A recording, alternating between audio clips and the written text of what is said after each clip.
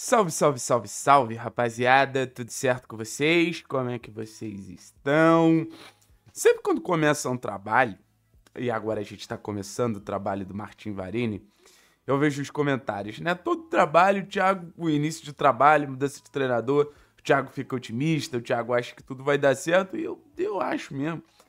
Com o Cuca, que era um treinador que eu não teria contratado, por preferir outras opções dentro de uma escolha de um modelo de jogo que eu acho que combina mais com o Atlético e acho que dentro da passagem do Cuca pela, é, pelo Atlético a gente pôde perceber que a ideia dele era uma, a característica do elenco era outra e, e em muitos momentos não davam match ou não se potencializavam. Eu fiquei confiante. Agora que eu vejo a ideia do Varini muito mais condizente com o grupo que o Atlético tem. E mais do que isso, a postura do Varini me agrada mais. Essa postura de, de, de enxergar o Atlético como opção da vida. Essa postura de, de, de ser um cara muito mais disposto a vir para trabalhar, para tirar mais desse elenco, para fazer com que o Atlético compita num nível mais alto, oferecendo alternativas táticas, cara. É, é, é, o que eu espero de um treinador. Então, naturalmente, esse comportamento Martin Varini ele vai gerar uma série de expectativas na minha visão. Só que uma pergunta que eu recebo muito é: o torcedor ele ainda tem muita expectativa no ano do centenário. Foi vendida a ideia de um centenário vencedor para o torcedor do Atlético, eu acho que ele vai até o fim nessa tentativa de entender possibilidades para que o ano do centenário seja sim um ano especial, e não apenas um ano onde o Atlético coleciona erros e esses erros impactam diretamente no campo. E acho que é louvável essa postura do torcedor. Ter essa esperança até o fim é importantíssimo e saber que o torcedor entende que, cara, a gente tem que pelo menos tentar em frentes que são possíveis, como Copa do Brasil, como a Copa Sul-Americana. É, é, é, esse espírito que eu espero do torcedor. Eu ainda tenho a esperança que esse time ele tenha o barulho comprado pelo torcedor do Atlético.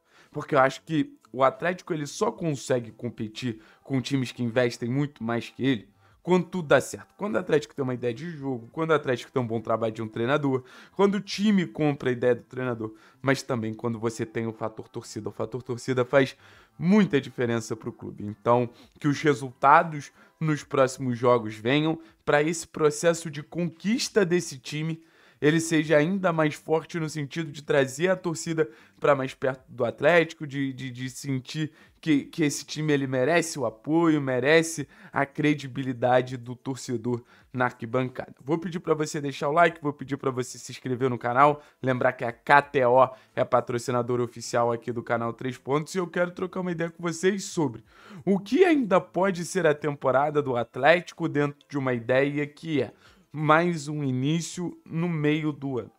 Beleza? Porque é esse o processo que o Atlético está vivendo. A chegada do Martin Varini não é uma sequência ao que vinha sendo feito com o Cuca. Porque se você for parar para pensar, o que o Osório fez não teve sequência com o Cuca. O que, que o Cuca fez não tem sequência nem com o Juca nem com o Varini. Então é mais um reinício em um momento sensível da temporada, onde os jogos decisivos eles começam a aparecer de maneira mais constante. Tanto que o Varini ele sai de uma decisão contra o Ipiranga, vai bem, o time ganha, poderia ter feito um placar muito maior. Agora ele já tem uma decisão, acho que mais difícil, fora de casa, num torneio internacional. Então, os jogos eles vão aumentar a importância dele, a relevância dele. E o Atlético vai ter que dar respostas de formas mais constantes. O Atlético vai ter que dar respostas de maneiras mais significativas do que deu até agora na temporada. O que, que isso significa? O Atlético tem que entregar um futebol mais consistente. O Atlético tem que entregar um futebol mais competitivo. Porque na temporada ela não está exigindo como exigia, por exemplo, ali no começo de Sul-Americana, no início de Campeonato Brasileiro, que o Atlético podia errar. O Atlético, se ele for para errar, que erre no Campeonato Brasileiro e que as Copas sejam um local onde o Atlético tenha o máximo de concentração, o máximo de capacidade competitiva e que isso reflita dentro das ideias do Varini em um time jogando um futebol do, do, do maior nível possível, encontrando sua melhor versão. Porque é aquilo, conseguindo ter essa melhor versão nas Copas, a gente, querendo ou não, está mais perto do título. A melhor versão no Campeonato Brasileiro, eu acho que já existe uma distância significativa e mais do que isso uma busca por regularidade que você consegue muito mais no início de um trabalho ter jogos pontuais de alto nível do que ser regular durante uma, duas vezes na semana, mantendo alto nível. Então acho que o time do Varini ele ainda vai conhecer essa versão que é o Atlético que precisa se doar ao máximo, um Atlético que precisa entregar o máximo e tem nas Copas ali um cenário que entregando o máximo a gente pode evoluindo, a gente pode evoluindo, a gente pode evoluindo. Então é basicamente os treinos, os jogos do Campeonato Brasileiro vão preparando o Atlético para os momentos Copa. Então acho que nesse momento se ensaia um Atlético do Martin Varini muito mais copeiro do que um Atlético do Martin Varini voltado para a competição de pontos corridos. Eu acho que vai ficar para a próxima temporada e para a próxima, para a próxima, para a próxima esse sonho do Atlético em ter o Campeonato Brasileiro como sua principal prioridade. Mas não que seja um sonho impossível, não que não possa acontecer em algum momento mas passa primeiro de você ter uma ideia de jogo, passa primeiro de você ter um projeto esportivo mais consistente, para aí sim você poder sonhar com a regularidade, porque em alguns momentos os problemas de, é, defensivos é, apareceriam naturalmente, em algum momento as oscilações elas apareceriam naturalmente, porque você não tinha ideia, você não tinha treino, você não tinha é, sustentação desse time.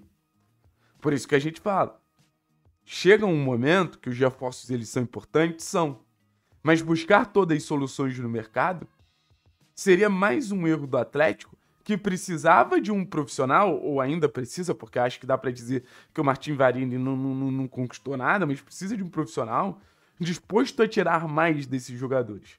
Disposto a ter eh, os jogadores que já estão no grupo entregando o máximo, criando um coletivo forte.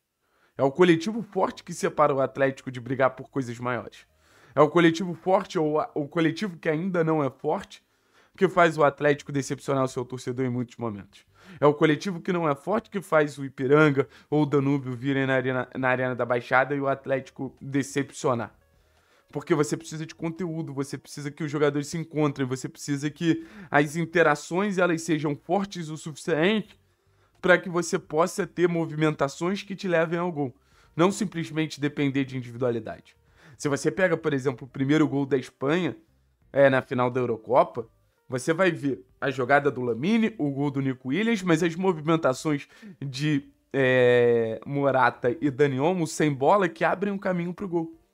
É esses detalhes de movimentação sem bola, são esses detalhes de encaixes defensivos que a falta de um trabalho mais consistente de um treinador faz com que o Atlético ainda não tenha. E chega um momento do jogo que os detalhes explodem. E chega um momento do jogo que o Atlético não consegue entregar. Então, o trabalho do Varini é para dar consistência ao coletivo, potencializar o grupo, para que esses detalhes eles comecem a aparecer a um nosso favor. Em jogos que vão ser extremamente difíceis. Por exemplo, eu estava vendo a campanha do Atlético na Copa do Brasil de 2019, porque eu gosto de ver sempre os detalhes, assim. Cara, o, o jogo contra o Flamengo no Maracanã, que a gente se classifica, é um amasso absurdo do Flamengo. É um amasso absurdo. Mas o Atlético ele tinha um coletivo forte, ele tinha um plano forte. E no momento certo, na hora certa, o Rony estava atacando as costas do Rafinha. O que, que isso gerou? Gerou gol que levou a gente pro, pro, pro, pros pênaltis e a gente acabou passando. O que, que o Atlético conseguiu fazer naquele momento? Controlar os detalhes e tá pronto para explorar os detalhes. O jogo ele vai ser decidido por isso aqui. Se o Atlético fizer grandes jogos, aí talvez não seja tão nos detalhes.